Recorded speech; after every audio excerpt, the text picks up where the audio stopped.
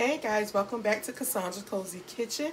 Today I'm cooking bacon and cheddar um, sausage and brown sugar, sugar and hickory baked beans. Um, I'm going to cut half an onion and I'm going to get these sausages in the pot so I can get started, okay?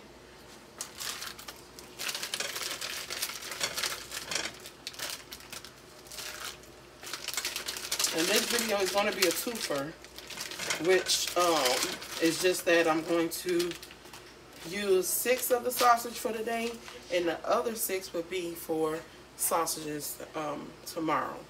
So once these get to boiling, I'll come back and I'll show you what I'm doing next.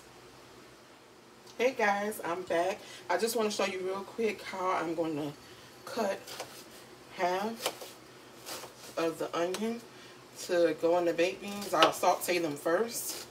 And I'm doing that because when I come back, I won't have to do it. So, because my family, well, my daughter, I'll say that, she doesn't like onions, so I have to disguise them. So I have to cut them kind of small, saute them so they won't have a bite.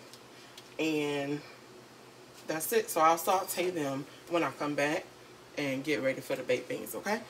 Be right back. Hey guys, welcome back. Now, why y'all let me sit up here talking about I got sausage with bacon and cheese in it, and I'm putting in some doggone bacon, um, some baked beans. No, no, not at all. So, I took out the wrong sausage. The six links of the Roger Wood. I cut up two so far. I have four sitting to the side.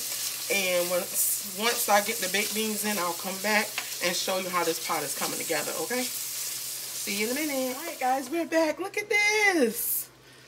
It's good. The only thing I added was um, a little bit of pepper and parsley.